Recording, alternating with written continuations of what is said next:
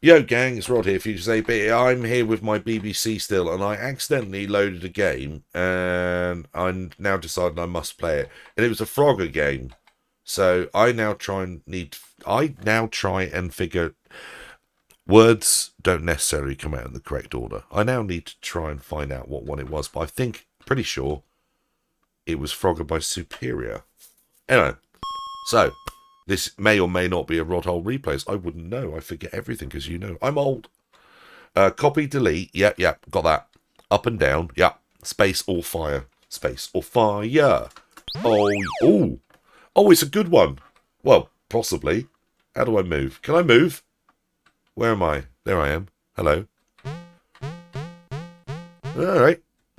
Oh, that looks a bit on the yeah on the cap. Yeah, this is quite punchy to my eye. As how do I get across? There's a timer. Oh, you're joking. This isn't just no.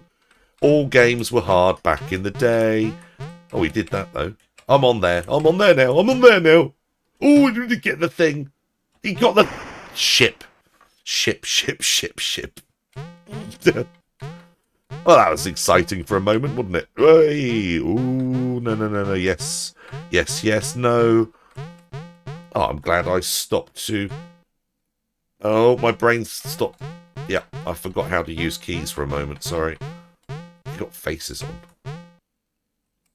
Oh, yeah. Ah, oh, that was lucky I didn't go after that one. That's how a crocodiliation in it. Down, down, mother. Ripper. Oh, don't, don't, Joe. Now you're getting... Now you're gonna, you're gonna crash and burn if you take risks. I'm taking risks. Oh, he thinks he's the big I am suddenly at Frogger Base Games. All of the colours, though. This is real. This is how it looks on the real machine. What you are seeing on that screen is, yeah, the, the power of RGB out. Punching your face in. All of the brightnesses. It's good, though, right? Hey. Oh, I didn't mean to do that one. I don't think I meant to do that one either. Oh, blimey. Frogger Base Games. Yeah, yeah, okay. Down below, you know where to put the words. What's your favourite Frogger on the BBC? And what is your favourite Frogger overall?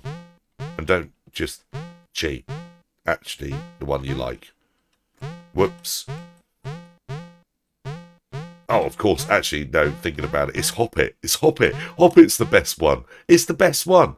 It's on the VIC-20. It's mind-numbingly difficult. Of course it's Hoppet. Yeah! I could hop it. Yeah.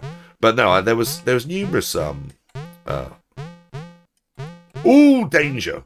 High voltage. Um there was numerous froggers on the Vic that I enjoyed actually. Three or four. Can't remember what they were called, of course. That's where I let the side down. This, though, is quite nice. It's, I like, I'm enjoying the colours. Seriously, it's the punch in your face graphics. I love it. It plays alright. Look at me playing Frogger alright. Yeah. It looks, it, ah, I was about to say it looks harder than it is, and then I died. And I'm about to die again. I've got one life left. Ah, frog. But yeah, this is uh, alright. I'm enjoying it. And I might have played this before and forgotten. Then again, I might not have. Uh-oh. Bananas. Oh, shut the front door. That wasn't fair. But anyway, I enjoyed that. I'm going to upload this to the internet and you're going to watch it and you're going to comment below. Goodbye.